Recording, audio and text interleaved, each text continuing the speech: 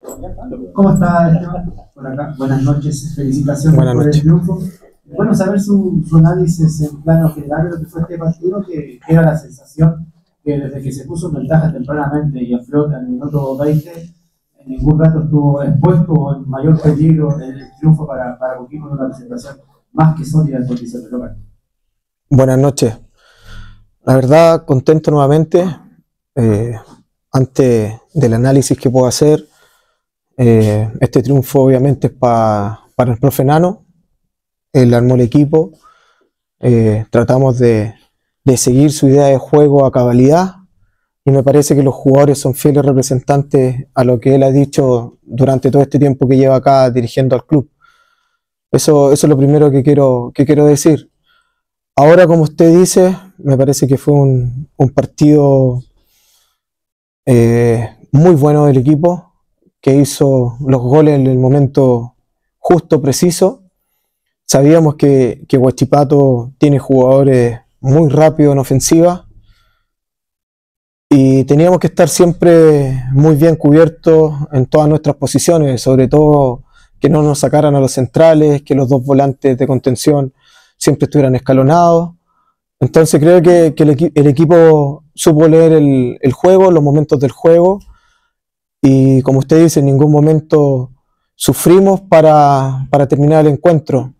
Si bien es cierto, se ensucia un poco el partido a ratos por, la fricción propia de un equipo que va perdiendo y necesita ir en busca del descuento, pero me parece que, el equipo fue, fue muy sólido durante los 90 minutos, a pesar de que en el gol de descuento un balón detenido, pero teníamos 10 hombres, Luciano justamente había quedado afuera, entonces también se provocó una desconcentración. Pero la verdad que, que el equipo dio muestra nuevamente de, mucha actitud, de carácter y como lo dicen ustedes, de mucha fuerza y coraje que, en estos momentos se necesita mucho por la seguilla de partidos que tenemos. Bueno, Esteban, eh, buenas noches. Felicitaciones, antes que nada, buen trabajo, sólido, como dice usted, el equipo pudo haber marcado más diferencia en cuanto al resultado. Lo importante es que Ustedes le dan la confianza a Johansen. Y Johansen, ahora sí, no, no despidió, como se dice, eh, y marcó dos goles. Y lo otro es una bonita despedida porque ya van a enfrentar al Micro Internacional. Esto le mantiene viva la ilusión para poder hacer buena presentación frente a pequeño y a de Por supuesto, lo que usted dice, su primera pregunta, más que nosotros entregarle confianza a Nicolás, es el esfuerzo que coloca él en cada entrenamiento. Eh, no, la, no, había, no había tenido la oportunidad él de ingresar. El otro día justo vino la expulsión de Chávez, entonces quedó prácticamente al borde de la cancha sin poder entrar. Entonces todos queríamos que, que hiciera un buen partido, más allá de convertir. Nosotros le dijimos que que el gol iba a ser consecuencia de su trabajo, del sacrificio que tenía que hacer. Nos enfrentábamos a dos centrales que, que tienen muy buen juego aéreo, que va muy fuerte al balón. Entonces él, más allá de los dos goles, supo aguantar balones muchas veces y qué decir de las definiciones que tuvo. Entonces es netamente el esfuerzo de él, de la perseverancia que ha tenido, a pesar de no estar jugando continuamente.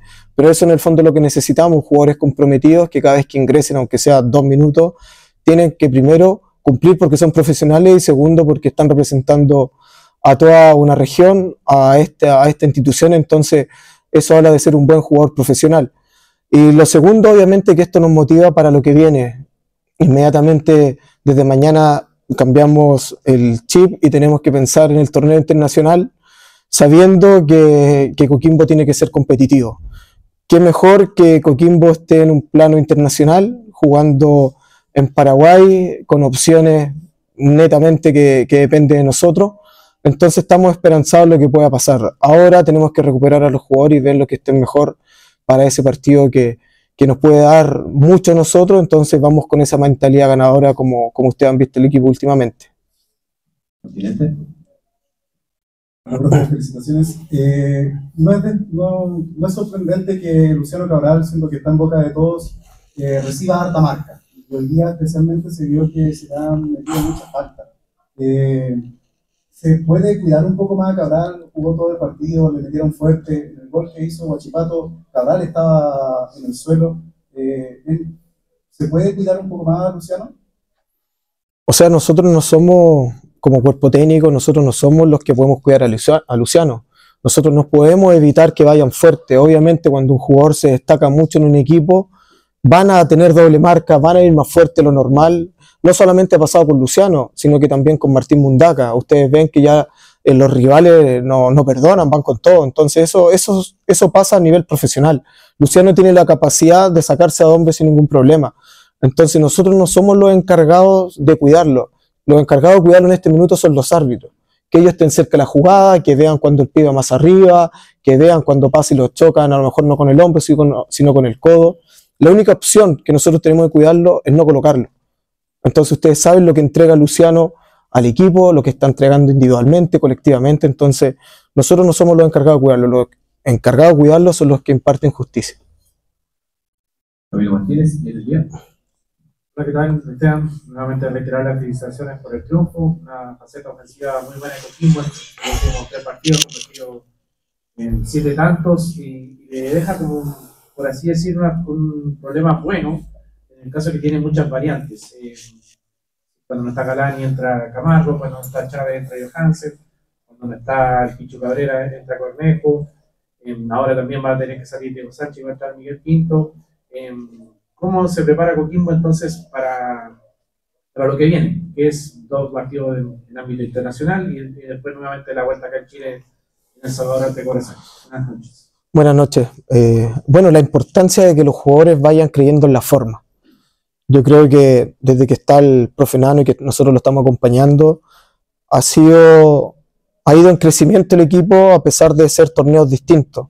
Me parece que la organización ofensiva del equipo eh, se está notando ahora en, convertir los goles, estamos generando, hoy día generamos bastante y está concretando, que eso, que eso es lo importante. Entonces la competencia interna que hay hace crecer eh, al equipo. Entonces cuando ingresa uno, esto inmediatamente hay un salto cualitativo del que ingresa. Entonces ojalá nosotros tengamos 25 problemas a ver a quién colocamos. Entonces también nace del compromiso de los jugadores que hay. Entonces, la verdad que, que nos ilusiona esa competencia interna que hay para lo que viene. Sabemos que, que son siete fechas las que quedan entre torneos nacional e internacional. Entonces este equipo no tiene techo. Mientras los jugadores sigan comprometidos, sigan creyendo en la forma, me parece que, que este equipo va a seguir creciendo y eso es lo que nosotros aspiramos. Por acá. Eh, lo hablamos eh, una vez finalizado el partido. Eh, en Viña, frente a Everton. Eh, más allá de que eh, la táctica sigue siendo la misma, con un par de variantes de nombres, Coquimbo sigue jugando de la misma manera, con otros intérpretes, pero tácticamente sigue siendo igual. Eh, ¿Por dónde se puede ver reflejada esa misma situación que parte Galani, ahora está Camargo, como bien lo mencionaban Johansen, Chávez, y, Coquimbo partido a partido se afianza y, y es prácticamente de memoria cómo juega el cuadro pirata? Y la segunda, eh, sus sensaciones ya entrando en este segundo tercio de campeonato, que lo mantiene en tercero, eh, segundo por puntos, pero por diferencia de goles, eh, ¿qué, se esperaba y qué viene ahora objetivo estando ya en la parte alta de la tabla? A ver, agregando la pregunta anterior, ¿cierto? Y, a la que me hace usted, me parece que la calidad individual de los jugadores a nosotros nos permite también que ingrese uno, eh, podemos dar tres ejemplos claros. Camargo, Glavi Galani están a un nivel eh, increíble, muy bueno, que cualquiera que entre, el equipo no se resiente. Entonces, esa es la importancia de tener variantes. Y en otros puestos que a lo mejor a, priori antes de empezar el torneo no estábamos eh, muy claros o no teníamos dos, dos por puesto, el nivel de los jugadores ha crecido muchísimo. Entonces eso también nos permite a nosotros tener más variantes.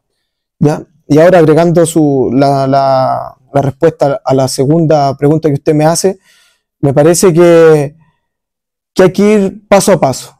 No podemos proyectarnos ahora lo que va a pasar a fin de año. Hay una para importante, nos tenemos que enfocar ahora en el corto plazo, en lo que viene, y después veremos para qué está el equipo. Lo que sí puedo agregar en este minuto es que las bases de las buenas campañas son de local.